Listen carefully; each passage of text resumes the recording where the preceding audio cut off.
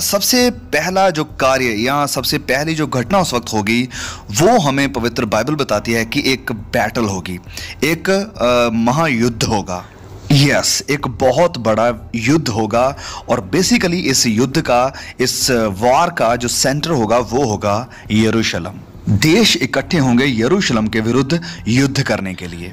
इसे हम पूरी बाइबल में देख सकते हैं और खासकर हमें ये देखने को मिलता है जकराया अध्याय चौदह, वचन दो में।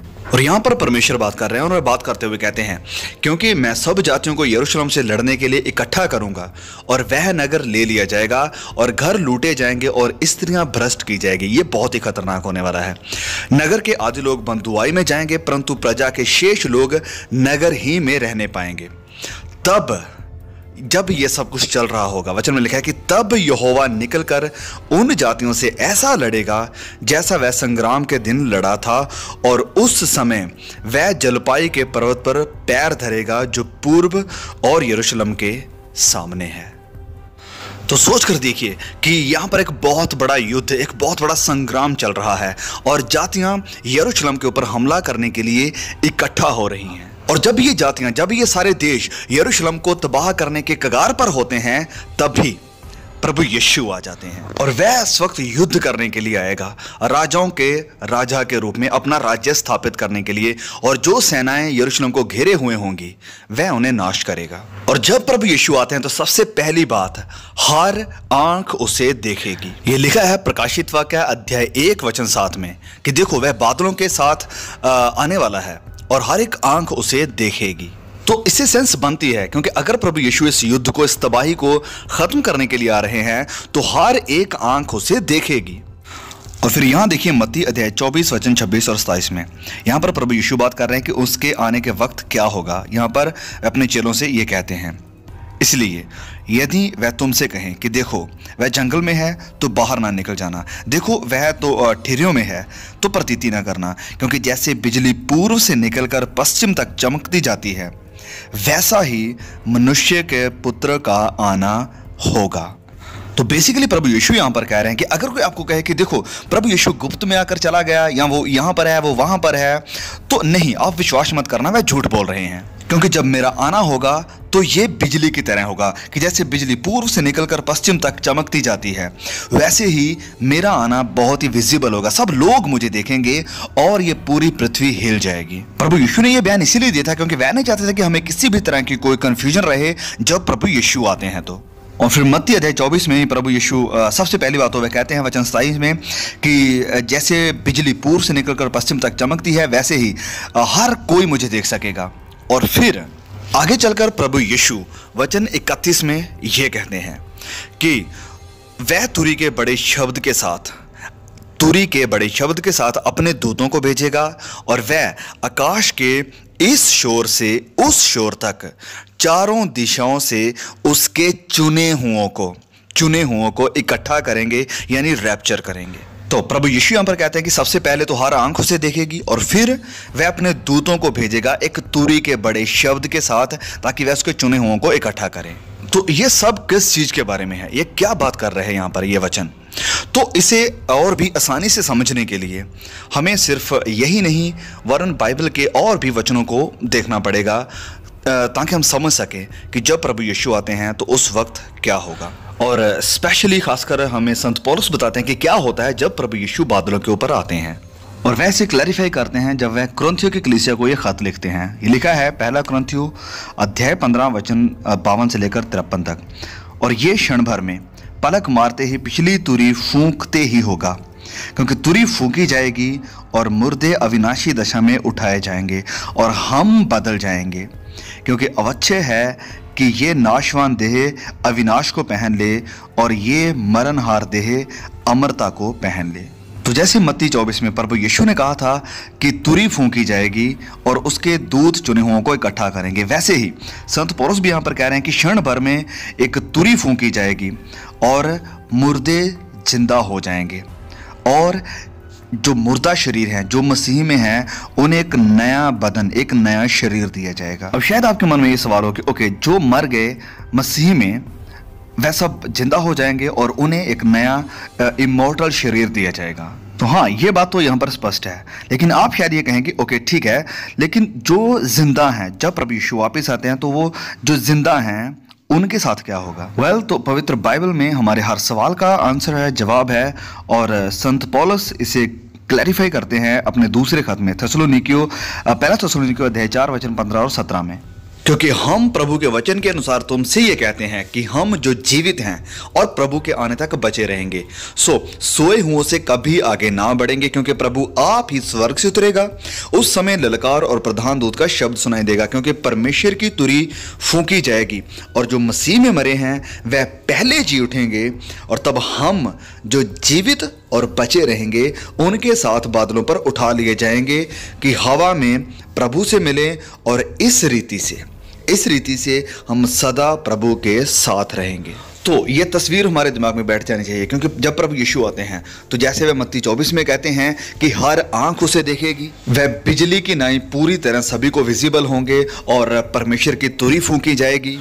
और संत पौलुस भी इसी तरह कहते हैं कि स्वर्ग दूत की तुरी फूकी जाएगी और जो मुर्दा है, वह पहले जी उठेंगे और जो हम, जो जीवित रहेंगे, हम भी बादलों पर उठा लिए जाएँगे मतलब रैप्चर हो जाएँगे हवा में। और फिर लिखा है कि हम सदा प्रभु के साथ रहेंगे जब वह पृथ्वी पर आते हैं। और आपको याद ही होगा कि जकराया में कहा गया था कि जब प्रभु आएगा उन जातियों के साथ युद्ध करने के लिए एक योद्धा के रूप में तो उसका पाव उस जैतून के पहाड़ के ऊपर ठहरेगा। तो ये एक बात यहाँ पर स्पष्ट है कि जब प्रभु यीशु आते हैं तो सबसे पहला काम जो होगा वो ये है कि जो विश्वासी हैं, जो मसीह पर विश्वास करते हैं, वह उसके साथ हवा पर उठा लिए जाएँगे और उन्हें एक नया शरीर दिया जाएगा, एक इमोर्टल बॉडीज और तब हम प्रभु के साथ नीचे पृथ्वी पर आएँगे और उस युद्ध को रोकेंगे, जिसे फेमसली कहा जाता है the battle of Armageddon okay तो अब जब प्रभु यीशु पृथ्वी पर आ चुके होंगे, तब सबसे पहले क्या होगा? तो प्रकाशित वाक्य अध्याय 19 और 20 इस आर्मागेडन का जो युद्ध है, इसे डिस्क्राइब करते हैं। तो ये जो आर्मागेडन का युद्ध होगा, ये उस एंटी मसीह विरुद्ध जिसे पशु के नाम से जाना जाता है, वो वो लीड इसे करेगा और यरूशलेम के ऊपर हमला करने की कोशिश करेगा। और तभी प्रभु यीशु आते हैं और इसे रोकते हैं। तो चलिए हम पढ़ते हैं इस वचन को। प्रकाशित वाक्य अध्याय बीस, वचन दो और तीन से लिखा है। और उसने उस अजगर, अर्थात पुराने सांप को, जो इबलीस और शैतान है, पकड़ के हज़ार वर्ष के लिए बाँध दिया और उसे अतः कुंड में डालकर बंद कर दिया। और उस पर मोहर कर दी कि वह हज़ार वर्ष के पूरे होने तक जाति जाति के लोगों को फिर ना भरमाए। इसके बाद अवश्य है कि थोड़ी देर के लिए वह फिर खोला जाए। तो प्रभु यीशु के वापस लौटने के वक्त शैतान, जो कि एंटा क्राइस के थ्रू काम कर रहा होगा, वह जातियों को यरूशलेम के खिलाफ इकट्ठा करेगा उससे लड़ने के लिए। और फिर प्रभु यीशु आएँगे और वचन में लिखा कि वह इस शैतान को पकड़कर बंदी बनाएँगे। कितने वर्ष के लिए? बाइबल बताती है कि एक हज़ार साल के लिए।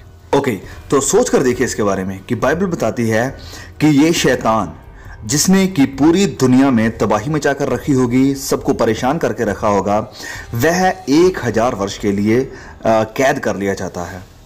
अब तो जब ये शैतान एक हज़ार वर्ष के लिए बंधा हुआ है, तब क्या होगा?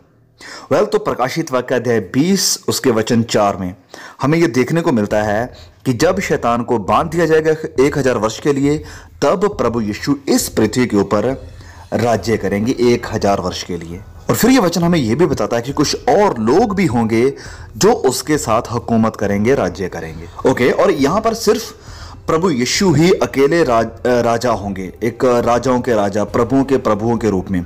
उस वक्त कोई और हुकूमत नहीं होगी कोई डेमोक्रेसी नहीं होगी कोई प्राइम मिनिस्ट्री नहीं होगी कुछ भी और नहीं होगा। तो जैसे मैंने कहा कि कुछ और लोग भी उसके साथ राज्य करेंगे तो वह कौन लोग होंगे, कौन होंगे जो उसके साथ हुकूमत करेंगे? वह तो जैसे मैंने पहले भी बताया था कि हर सवाल का जवाब बाइबल हमें देती है। तो हमें प्रकाशित वाक्य अध्याय 20 वचन छः में देखने को मिलता है कि वह कौन लोग होंगे जो उसके साथ हुकूमत करेंगे। तो चलिए पढ़ते हैं रेवलेशन चैप्टर 20 वर्स 6 लिखा है धन्य और पवित्र वह है जो इस पहले पुनरुत्थान का भागी है। ऐसों पर दूसरी मृत्यु का कुछ भी अधिकार नहीं पर वह परमेश्वर और मसीह के याजक होंगे और उसके साथ हज़ार वर्ष तक राज्य करेंगे। तो इस बहुत ही सिंपल वर्स के अनुसार कौन है जो प्रभु यीशु के साथ एक हज़ार वर्ष के लिए राज्य करेंगे? वेल well, तो वो हैं जो पहले पुनरुत्थान के भागी हैं। कौन है ये लोग? ये आप हैं, ये मैं हूँ। ये हम सब लोग हैं जिन्होंने प्रभु यीशु के ऊपर विश्वास किया है अपने उद्धार के लिए। तो ये पहला पुनरुत्थान कब होता है? जब प्रभु यीशु आते हैं और तभी जो मुर्दा हैं, वो जी उठेंगे और हम जो जीवित हैं, हम भी एक नए शरीर को हासिल करेंगे ताकि मसीह को, प्रभु यीशु को हवा में मिले, आकाश में मिले। और ये होगा पहला पुनरुत्थान। और हम सब जो मसीह यीशु में हैं और इस पृथ्वी के ऊपर ज़िंदा होंगे। हम पहले पुनरुत्थान के भागी होंगे, जिसका मतलब ये है कि जब प्रभु यीशु आते हैं इस पृथ्वी के ऊपर एक हज़ार वर्ष के लिए हुकूमत करने को, तब हम भी उसके साथ राज्य करेंगे, हम भी उसके अधिकारी होंगे, हम भी इस पृथ्वी के ऊपर, जातियों के ऊपर हुकूमत करेंगे।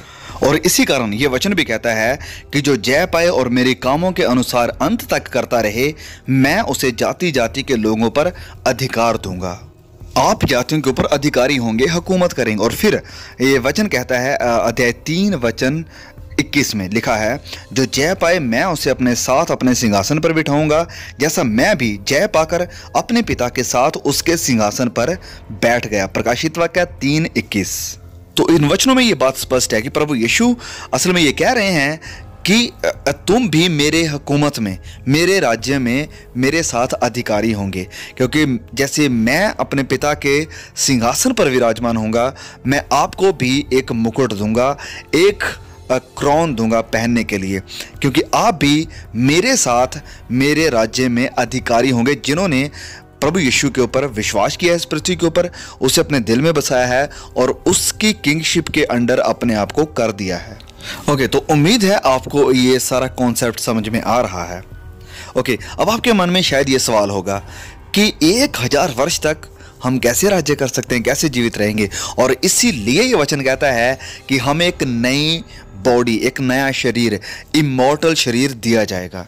अब एक और बहुत ही बड़ी बात यहाँ पर, कि अगर हम जातियों के ऊपर हुकूमत करेंगे तो ये ऑब्वियस है कि हम एक दूसरे के ऊपर अधिकार नहीं करेंगे, कि आप भी अधिकारी हैं और मैं भी अधिकारी हूँ। तो ये कॉन्सेप्ट ये आइडिया काम नहीं करेगा। तो जब ये वचन कहता है कि हम एक हज़ार वर्ष के लिए जातियों के ऊपर अधिकार करेंगे तो ये कौन है ये जातियाँ जिनके ऊपर हम एक हज़ार वर्ष के लिए राज्य करेंगे? तो इस सवाल का जवाब पाने के लिए हमें पुराने नियम में जाना पड़ेगा, क्योंकि पुराने नियम के भविष्य वक्ताओं ने इन सब चीज़ों को बहुत ही अच्छे से एक्सप्लेन किया है। तो हम पढ़ेंगे जकराया अध्याय चौदह और उसके वचन सोलह को। यह वचन हमें बताता है उन जातियों के बारे में जिनके ऊपर हम अधिकार करेंगे।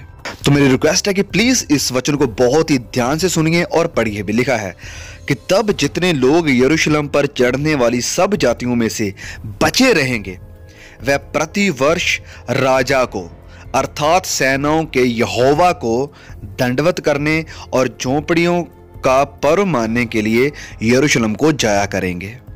फिर आगे लिखा वचन सत्रह में, और पृथ्वी के कुलों में से जो लोग यरूशलेम के राजा, यानी सेनाओं के यहोवा को दंडवत करने के लिए ना जाएँगे, उनके वहाँ वर्षा, यानी बारिश ना होगी।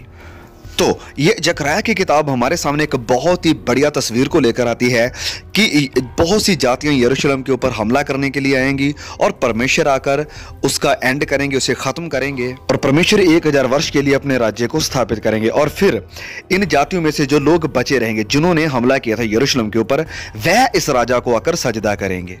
तो प्रभु यीशु आकर इस सारी पृथ्वी को नाश नहीं करेंगे, वरन वह आकर शैतान को रोकेंगे और उसके कार्यों को खत्म करेंगे और उसे कैद करेंगे और इस पृथ्वी के ऊपर शांति को स्थापित करेंगे और उसके राज्य में लोग होंगे उसकी हुकूमत के अधीन। तो ये जातियाँ जिनके ऊपर प्रभु हुकूमत करेंगे, जिनके ऊपर आप और मैं हुकूमत करेंगे। ये वो लोग होंगे जो राज्य का हिस्सा नहीं थे, जो रेजरक्शन में उठाए नहीं गए थे, जो यीशु को नहीं जानते थे। तो ये वचन कहता है कि इन सब जातियों में से जो बचे हुए लोग होंगे, जिन्होंने यरूशलेम के ऊपर हमला किया था, वह अपने आप को इस राजा के, यानी प्रभु यीशु के अधीन करेंगे। तो इस राजा, यानी प्रभु यीशु मसीह के राज्य में, उसकी हुकूमत में, जो उसकी हुकूमत एक हज़ार वर्ष की होगी, इसमें शांति होगी, और किसी भी तरह का कोई कष्ट, कोई दुख, कोई परेशानी, कोई मुश्किल नहीं होगी। और आप और मैं मसीह के साथ हुकूमत करेंगे, उसके साथ राज्य करेंगे। और सोचकर देखिए कि ये कितना वंडरफुल है। वह लोग जो मसीही थे इस पृथ्वी के ऊपर और पूरी ज़िंदगी अपना जो जीवन है उसे गरीबी में बिताया। पूरी अपनी ज़िंदगी जिन्होंने कोड़े खाए, दुख उठाए, मसीह की खातिर बहुत सी तकलीफ़ों का सामना किया और सुसमाचार की खातिर बहुत ही बुरा वक्त बिताया। जिन्होंने प्रार्थना की कि प्रभु तेरा राज्य कब आएगा? वह सब लोग राजा के साथ प्रभु यीशु के साथ इस सारी कायनात के मालिक के साथ बैठेंगे और प्रभु यीशु सब कुछ सही कर देंगे, क्योंकि वह अपने राज्य को धर्म और सच्चाई के साथ चलाएँगे। और आप भी उस राज्य का हिस्सा होंगे, उसका एक पार्ट होंगे, और हमारी ड्यूटी है कि हम इसके बारे में सबको बताएँ।